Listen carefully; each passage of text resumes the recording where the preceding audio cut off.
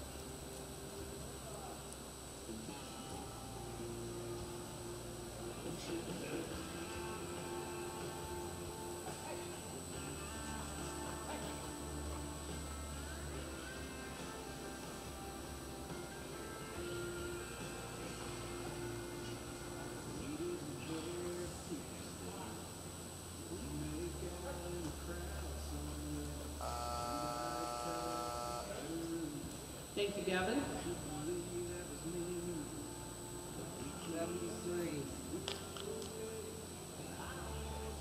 Score for CR Kitty's Gotta Gun and Gavin Jordan is a 73.